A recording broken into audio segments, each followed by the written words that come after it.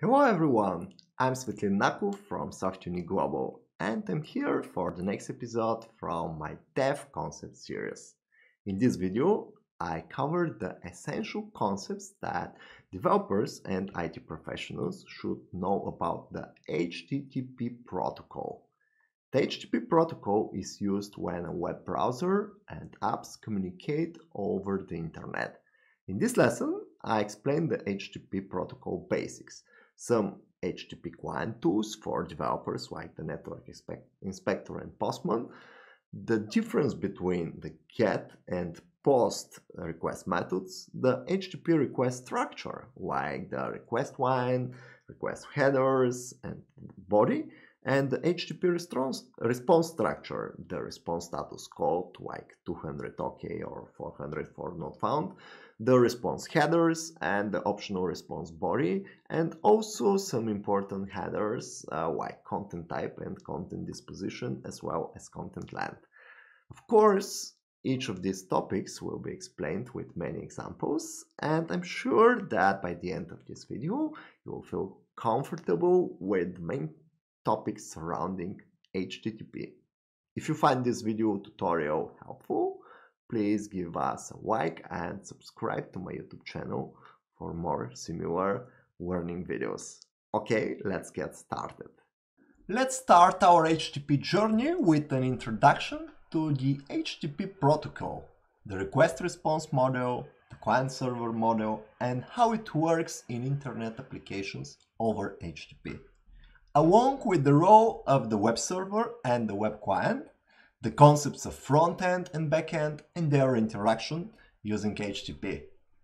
HTTP is the main internet protocol used to communicate between web servers, which host the websites and the and server-side comp software components, and web clients, such as web browser and mobile apps which display the information to the users and interact with them. HTTP comes from Hypertext Transfer Protocol.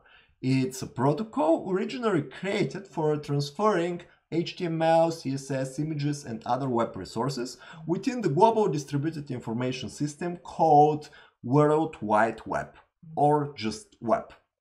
The web consists of all websites in internet which are accessed via the HTTP protocol.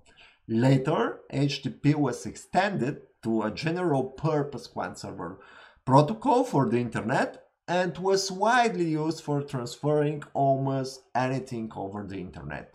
Text, images, documents, audio streaming, video streaming, chat messages, and many others. Let's first explain what is a protocol. A communication protocol is a set of rules which defines how two or more parties are talking to each other. It defines the format of the messages exchanged and their semantics. The protocols in programming are languages used to communicate between machines. Like in the human languages, protocols have syntax, which specifies the structure and commands, and semantics, which specifies their meaning. HTTP is text-based client-server protocol for the internet. Text-based means that the messages which are exchanged are human-readable text, not binary data, such as JPEG images. Client-server means that the communication takes place between a server, a software which stores the data and provides it upon request, and the client, a software which reads and visualizes the data from the server. We shall explain the client-server model later in more detail a bit later. HTTP is mostly used to transfer web resources, such as HTML files, images, styles, and documents. For example, when you open a website, the web browser connects to the web server hosting the requested site and the request it, requests the URL that you have entered in the browser's location bar via the HTTP protocol.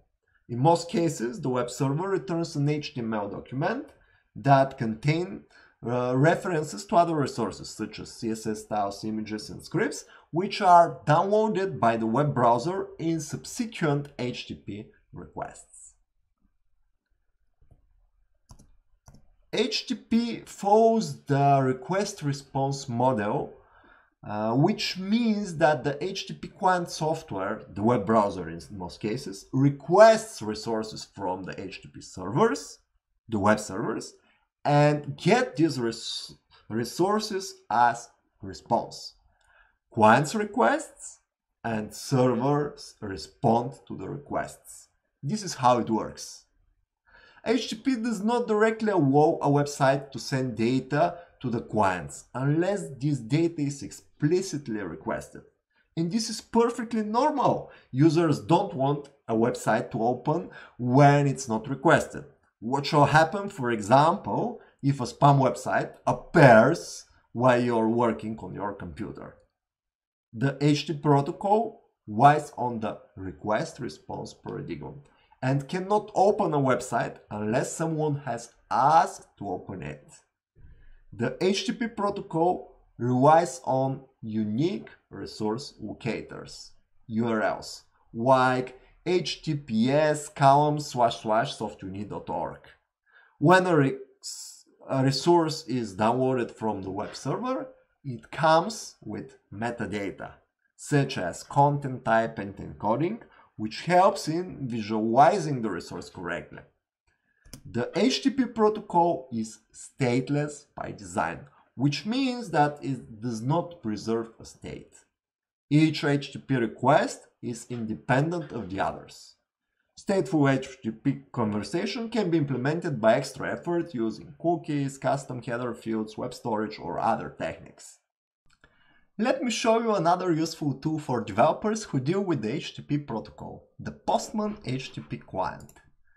Postman is an HTTP client tool for developers. Web developers use it for composing and sending HTTP requests and analyzing the HTTP response from the server.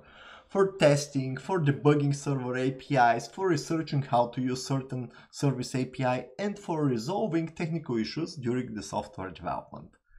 With Postman, you can create an HTTP request, send it to the web server, view the HTTP response, and generate a source code to execute the HTTP request in many languages, such as JavaScript, C Sharp, Java, Python, PHP, and many others. Now let's see an example with Postman. Uh, we can send an HTTP request to retrieve the issue number one from the ASP.NET Core project at GitHub using the GitHub API, which is accessible via the HTTP protocol. We create a new request uh, and name it get GitHub issue. And uh, we save the request in Postman and uh, we choose HTTP method GET for this request uh, and we enter the following URL for the HTTP request. Https comma slash slash api.github.com slash repo slash .net slash ASP.NET Core slash issues slash one. Uh, and we click the send button. It, and the, the web server at api.github.com responds with a long JSON object uh, holding a detailed information about the requested issue. We can view the code example uh, for sending this HTTP request in JavaScript, C Sharp, Java or other uh, programming language. Uh, we open the generate code snippet uh, dialog window by clicking on the code button. And we select HTTP to see the HTTP request. We can select JavaScript fetch uh, to see how to invoke this request from um, Java's client-side JS application running in the web browser. We can also select uh, Java to see a, a sample Java code for invoking the same request from Java. You can play more with Postman uh, and uh, during the exercise and homework uh, sessions and I hope you will like it. I'm sure you will find with ease how to install the Postman client on your computer. Um, and in case you want to explore more HTTP tools, I could recommend this. Insomnia Core REST Client. It is a client HTTP tool for developers uh, like Postman. Uh, also, Postwoman. it's a web-based Postman-like HTTP client tool running directly eh, from the web without installation. Did you notice the T's in the name? It's not a Postman, it's a Postwoman. You can play with it at postwoman.io. Um, this is the tool. We can click the send button and we see the response here. In this section, I will explain what's inside the HTTP request. The request line, the request methods, the request headers, and the request body. I will discuss the main HTTP request methods, get, post, put, patch, delete, options, head, and others, and how they work. I will examine a sample HTTP request to get a better understanding how it works, and I will explain the internals, why we need the content line header and content encodings and other internal details. Let's get into it. HTTP defines methods to indicate the desired action to be performed on the identified resource. The most often used HTTP methods are get, post, put, delete, and patch. The get method retrieves uh, a specified resource. It is used to download a web page, CSS file, script, document or other resource from a website. For example, if you open your favorite news site, its uh, content will be downloaded using HTTP GET requests. GET can retrieve a list of resources, for example, all the news from the front page of a news website, or get a single resource, for example, a single news article. The post method is used to create or store a resource at the web server. Remember that post creates something new at the web server. It modifies the state at the server side. For example, when you log in uh, with your username plus password at a website, the login form uses post request to send your credentials to the server and if the login data is valid, the server creates a new session and sends uh, the session identifier as a cookie. And we shall learn about cookies later when we study web programming. Another example of HTTP post is when you enter and submit your shipping address in an e-commerce application. Put is used to update or replace an existing resource. The HTTP put method is used in some applications to replace an existing resource with a new version of this resource. For example, HTTP put can be used to change the shipping address in an e-commerce application. Delete is used to delete or remove an existing resource. An example of HTTP delete is uh, for deleting an item from the shopping cart of, uh, in an e-commerce web application. The patch uh, method updates an existing resource partially. It is used to modify a field uh, of given object. An example of HTTP patch request is for updating the quantity of an order item in the, shipping, in the shopping cart in an e-commerce web application. The HTTP head method retrieves the resource headers without the resource itself. Head is used rarely, for example, to check for modifications at the server side. The four most important operations for most applications are get, post, put and delete, the so-called CRUD operations. CRUD is an abbreviation from create, read, update, delete. And it's usually implemented by apps and APIs which manage persistent data. Most applications support at least these four CRUD operations for the objects they store, edit and manage. For example, if you have a phone book app, you will need at least the following basic operations. View all the entries from the phone book. View certain phone book entry. Add a new phone book entry. Modify existing phone book entry and delete the phone book entry. These are essentially the classical CRUD operation.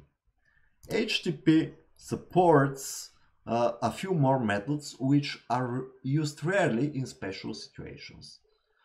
Connect is used to open a two-way socket connection to the remote web server. A socket connection can overcome the limitations of the HTTP protocol and its request response model through lower level communication. The options method is used to describe the communication options for, for a specified resource. For example, in some situations, the web client asks the web server using an HTTP option request if it is allowed from a security perspective to request a certain resource. This is called a cross-origin request or CORS. The HTTP trace method is designed for diagnostic purposes during the development and is used very rarely. Now let's give a full example of an HTTP request. HTTP requests consist of request line, request headers, and request body. The request starts with the HTTP request line. This is the command we send to the server.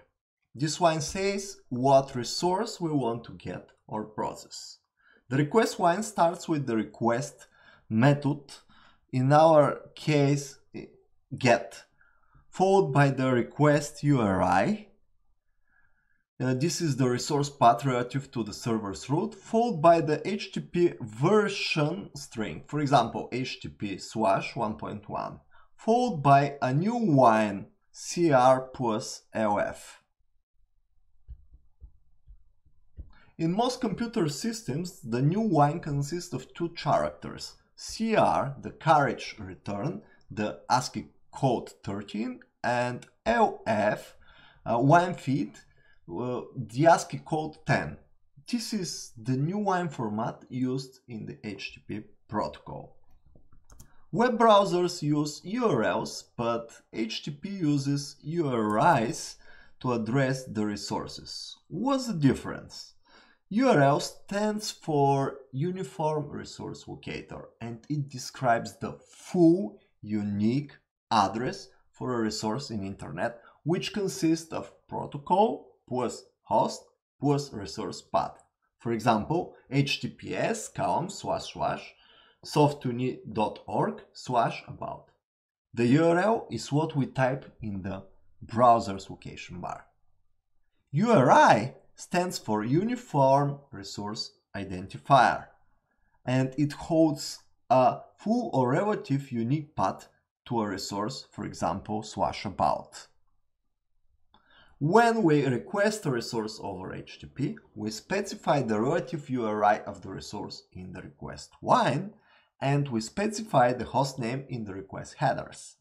Both relative URI and host name come from the URL we want to access. At the next few lines, the HTTP re request headers are given. Uh, headers specify specific parameters about the requested resource. An important header is the host header, holding the requested resource. If we have several websites on the same web server, for example, softuni.org and learn.softuni.org, the host header will tell the server which website to access. The other header specifies settings uh, about uh, like what kind of content the client can accept, uh, and understands, for example, only HTML or any content, what is the preferred language such as English or Russian uh, that the client wants to use, what kind of compression the client understands, uh, for example, gzip and deflate, what are the client web browser's brand and version, uh, encoded as the so-called user agent identifier and other parameters. The header section in the HTTP request ends by an empty line cr plus lf twice.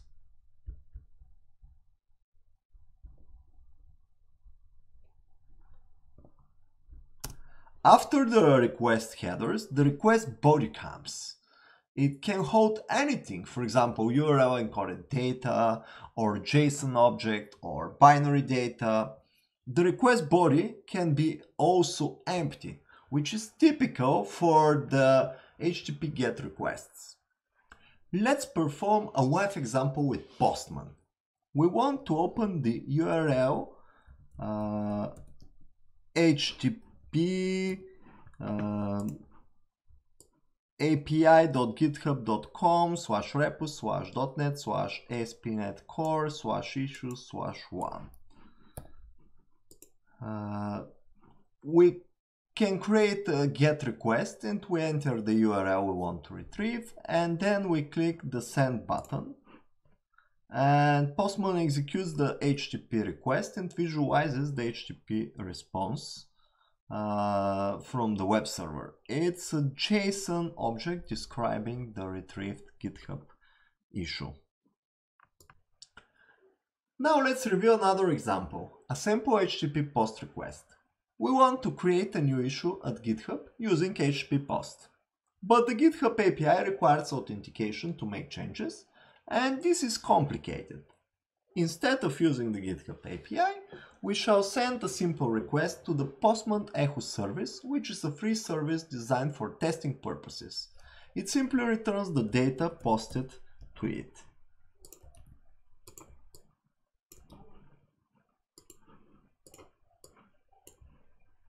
The URL for the Postman Echo service uh, for HTTP post is the following https com slash slash postman dash echo uh, dot com slash post. Our sample HTTP post request hosts a request line uh, plus headers plus body. The HTTP request line holds the method post uh, plus the relative request URI slash post plus HTTP slash 1.1, the protocol version. The headers specify the host uh, the host uh, which comes from the URL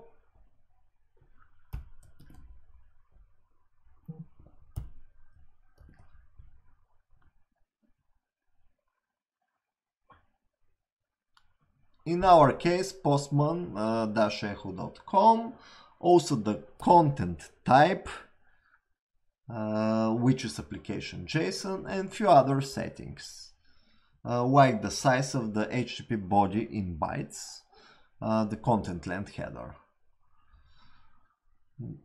The request body mm, holds a JSON object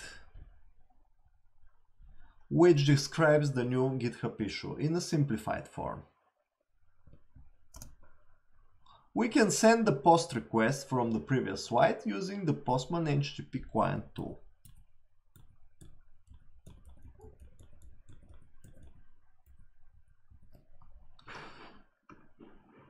Uh, we open Postman and create a new request. Uh, we select a method post from the drop down and we put the URL https postman-echo.com slash post. We put the JSON code uh, from the previous uh, slide in the request body tab and we send the request. The response from the HTTP server is displayed below. It's a JSON object which holds the information about the request.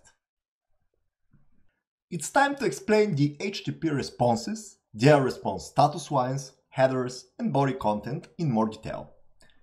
I recall that the HTTP protocol operates on the request response model. The web client sends HTTP request to the web server and the web server replies with an HTTP response. The request and the response messages follow a certain text-based format defined by the HTTP specification. I already explained what's inside the HTTP requests. Now let's review what's inside the HTTP responses. Let's start with a sample HTTP response. It consists of three parts, response status line, response headers, and response body. The HTTP response status line starts with the protocol version, uh, followed by the response status code, followed by a human readable text explanation of the status code. The status code tells the client whether the requested operation was successful or not. It may report success with status code 200 or error with status code 400 or 500 or other. There are many status codes specified in the HTTP standard and we shall discuss them later in detail. After the HTTP status line, the HTTP response headers come. The response headers provide metadata about the returned resource or the returned error such as content type, content encoding, uh, content size in bytes, uh, content was modification date, and many others. After the response headers and the empty separator line, uh, the HTTP response body comes. This is the requested resource, the content returned by the server. It can be a text or a binary data or can be empty. In our example, the web server returns an HTML page. Let's discuss in more detail the HTTP response status codes. HTTP status codes are three-digit integer numbers and the first digit serves for grouping the status codes. Status codes starting with 2 indicate a successful operation. Uh, the most used HTTP response status code is 200 OK, which means that the requested resource has been successfully retrieved and returned. This is what the server returns, for example, when you successfully open a news article from a news website. Status code 201 created means that a new resource has been created successfully. For example, a new user was registered. Status 204 no content means that the request was successful but there is nothing to return. For example, a chat message was sent successfully to certain user and this operation returns just done. Status code 204. Uh, status code starting with 3 are used for redirection to another URL. Uh, status code 201 uh, found uh, move permanently is used for permanent redirection to another URL. For example, when a website changes its domain name, your domain name is permanently redirected to the new domain using a 301 permanent redirect.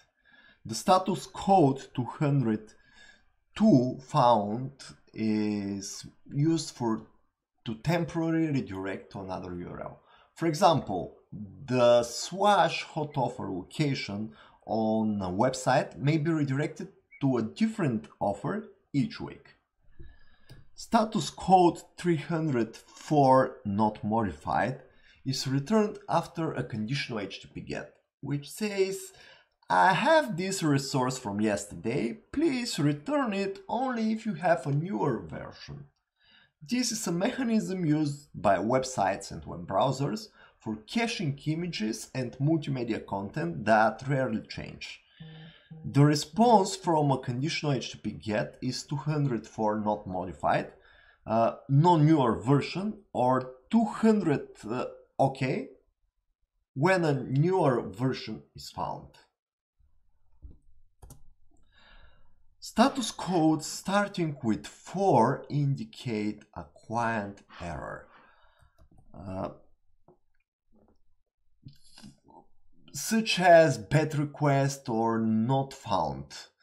400 bad request uh, means that the client has sent an invalid request. For example, to view a news article, uh, the article ID should be specified.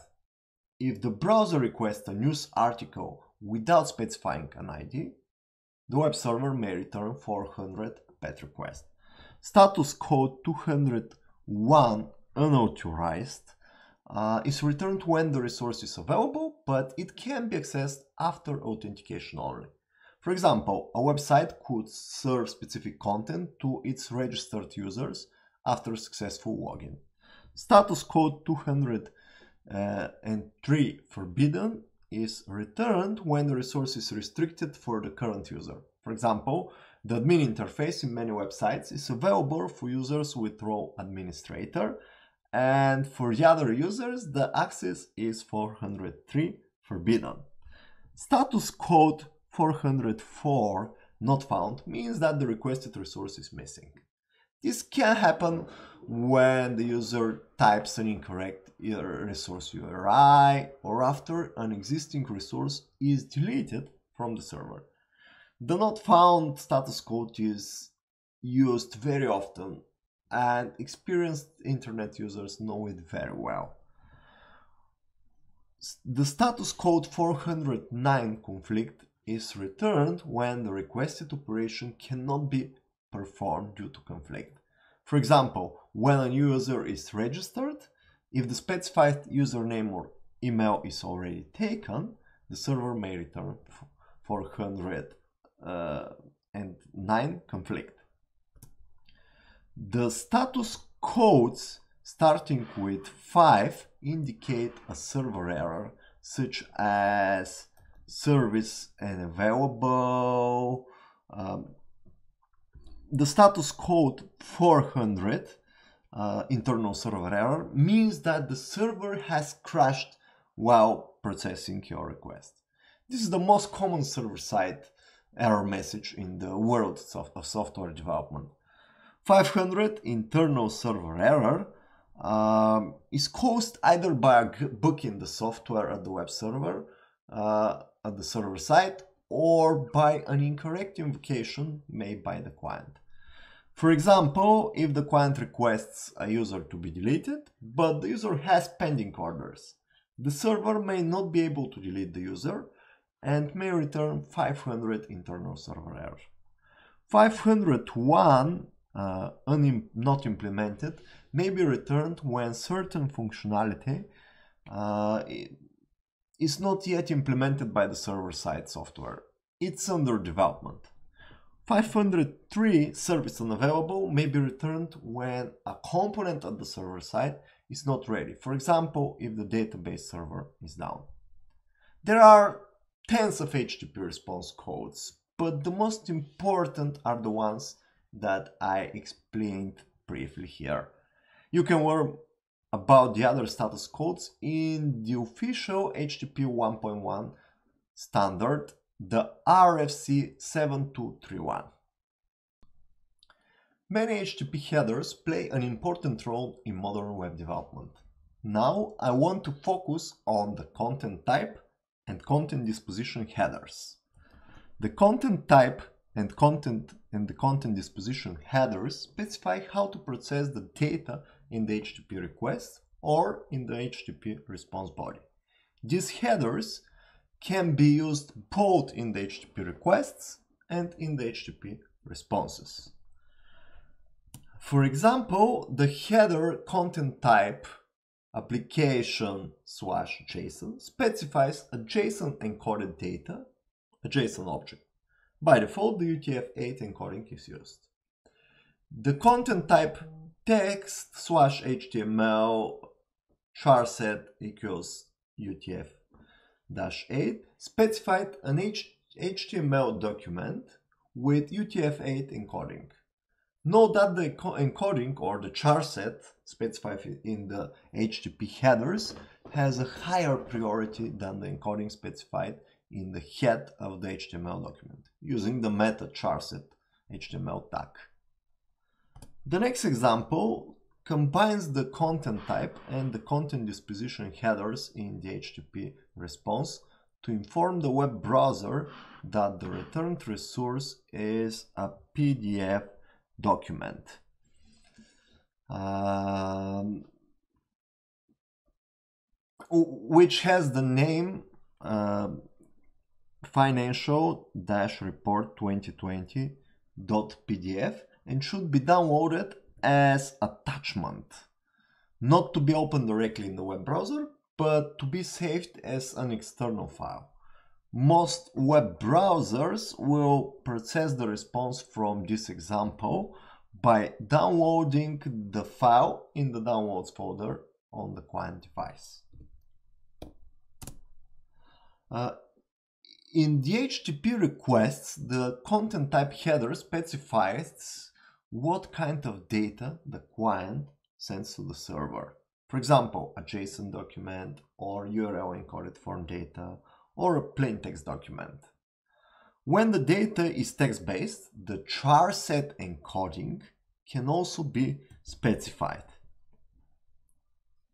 For example, UTF-8 or Windows 1251 and this is highly recommended because wrong encoding may result in broken and unreadable text stored in the database. The value of the content type header is a media type identifier like text slash HTML, application slash JSON, image slash JPEG, application slash VND dot ms dash excel and many others.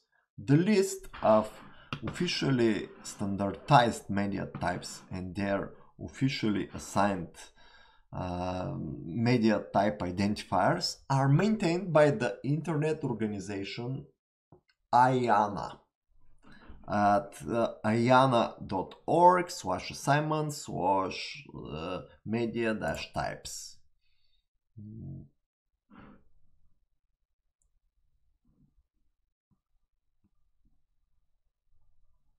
These are the content types defined by iana.org. The content type header in the HTTP responses specifies what kind of data the server returns to the client. For example, an HTML document or a JPEG image. For text-based data, like HTML or text documents, the char set can also be specified, such as UTF-8 or Windows 1251. Specifying explicitly the character uh, encoding is highly recommended uh, and helps visualizing correctly the return document. When web browsers open a website, by default they use the character encoding from the content type response header when it is available, or their default encoding when the char set is missing in the HTTP headers. This is an example of small HTTP conversation which consists of HTTP request followed by a corresponding HTTP response.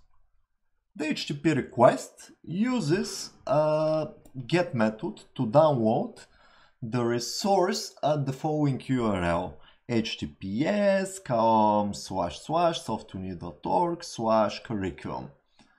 Uh, the relative request URI is slash curriculum. It is specified in the HTTP request line. The host comes from mm, the URL and it is softuni.org. It is specified in the host header uh, of the request.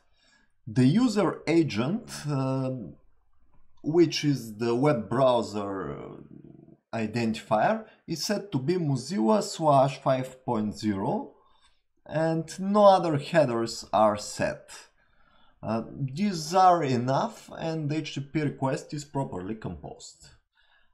The HTTP response uh, from the web server returns status code 200 OK uh, which means that the requested resource is found and it will be returned in the response body.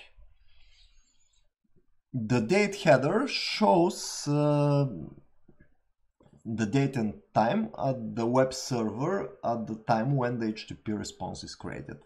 The server header shows information about the server software used to process the HTTP request, the web server, in this example, this is the Microsoft's web uh, server used by uh, the ASP.NET uh, app behind the website at softuni.org. The header content length uh, indicates the size of the returned resource in bytes. Mm. Using this value, the web browser could visualize a download progress bar mm, uh, with increasing percentages over the time for large files or documents. After the header, an empty line comes and then the requested resource is returned in the HTTP response body. Let's see in the web browser uh, this uh, in the network monitoring tool. Open the URL, where, where, wait for page to load. Now press F12 12 to open the network monitoring in Chrome DevTools. Um, press the reload button, the reload button, uh, to load the current page again with the network activity recording. Uh, we see many HTTP requests performed by the web browser um, to open this page. The browser downloads HTML code, JavaScript files, images, icons, fonts, and other resources. We can inspect them one by one. Uh, this sample illustrates uh, what happens when an internet user opens a website. The browser executes a sequence of steps. From the URL, uh, from the URL, um, the web server's IP address is extracted and the browser establishes a TCP socket with the web server. Mm. If HTTPS is used, um, a TLS security layer is initialized and an encryption channel is established. Using the connection with the web server, uh, the browser sends a sequence of HTTP requests and visualizes uh, the responses from the web server. Usually the first downloaded resource is the HTML document um, corresponding to the site's URL. The return document is processed by the browser and all the style scripts, images and other referenced resources are extracted.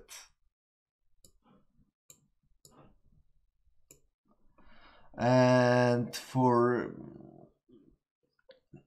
for each of the referenced resource, a separate HTTP request is sent to the web server uh, over the already established connection. When the resources are loaded, uh, the HTML document is rendered using these resources, these scripts, styles, images, fonts, icons, and others, and the user can see the website. Uh, a typical business website today makes uh, 50 to 100 HTTP requests to load and display its front page. Um, you can track these requests using the Chrome DevTools or other HTTP traffic. In our example, we have more than 30 uh, requests to open the SoftUni curriculum page. Hey, did you like this lesson? Do want more? Join the Learners community at softuni.org. Subscribe to my YouTube channel to get more free video tutorials on coding, dev concepts, and software development. Get access to more free dev lessons and learning resources for developers. Get help for free from mentors and meet other learners. And this is all free. Yes, completely free. So join now at softuni.org. Meanwhile, you can check out my other videos from the Dev Concept series or from the Code Lesson series, where I'll explain and demonstrate many concepts and technologies from the software development profession uh, with live coding exercises and hands-on labs. Type in the comments below if you want to see some of your favorite topics in this channel. Goodbye, see you in my next video.